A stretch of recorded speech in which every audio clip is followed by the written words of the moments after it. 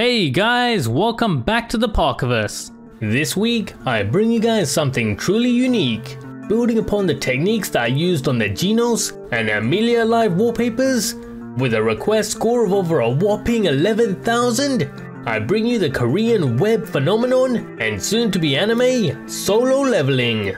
This is going to be another one in my series on how to customize your home screen like a pro. A series where I show you how you can easily and quickly get these stunning minimalistic setups on your Android phones. So if you haven't already, make sure you check out the previous episodes. And following that format, I'm going to show you how you can take a basic home screen setup and turn it into something like this. But before we get started, if you like this video and want to see more just like this, make sure you like and subscribe to help support the channel. And don't forget to submit your live wallpaper and home screen requests right from within the Epic Live Wallpaper app. Just head to the live section and then click on the request button. And remember to boost your favorite ones using both the heart and the booster buttons here. So here he is, with sword in hand, our hero walking right towards us. This one definitely adds a whole different dimension to our home screens. And as for the home screen setup itself, it's super simple, with blue and white icons to match the color of his sword, and a singular bold date and battery widget, which I've also modified ever so slightly to add in local weather information. This setup will be running Nova Launcher using KWGT widgets and to complete the look I'll be using the Hex installer for system-wide customization. The link for these and everything else that you're going to need are going to be in the description below.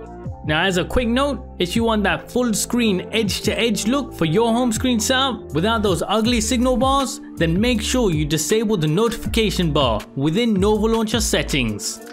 And to get this comfy icon layout, Make sure to head to Nova's home screen settings and change the grid size to 5 across and 11 down.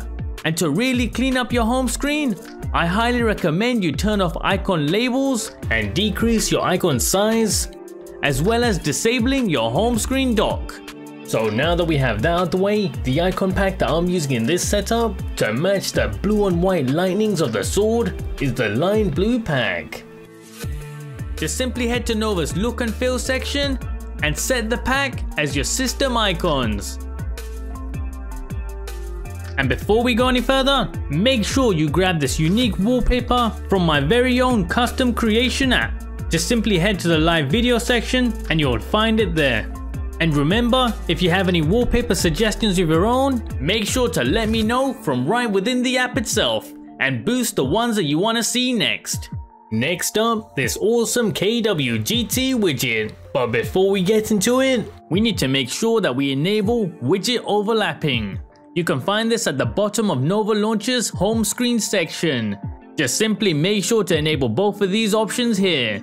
Now finally for our KWGT widget, this bold date, battery and now also a weather indicating widget straight from the vanilla pack is widget 135.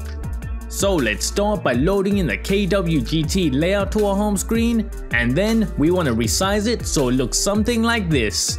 Now here to match my look, make sure to long press it and toggle the padding option. And because it is overlapping our home screen app icons, make sure to also use this menu to select the option to send it to the back. Now within KWGT, we're going to start things off by adjusting the widget size.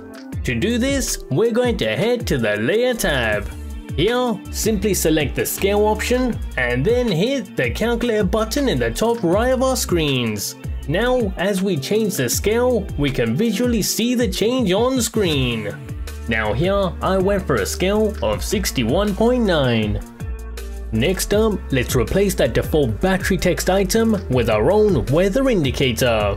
For this, from on our item list, we want to simply head into the stack group item.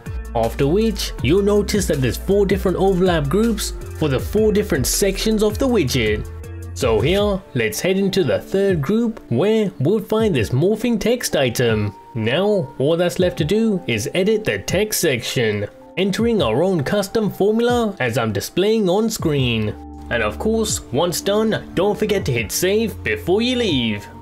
And wrapping up this setup, we're using Hex Installer. This is going to give you a nice AMOLED friendly black backdrop with the colors of the theme splashed across the whole system including the notification panel. Just use the color codes that I'm showing on screen.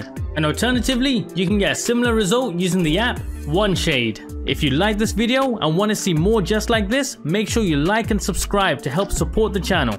And if you have any theme suggestions or requests, feel free to leave them in the comment section below. See you next time on Into the Parkerverse.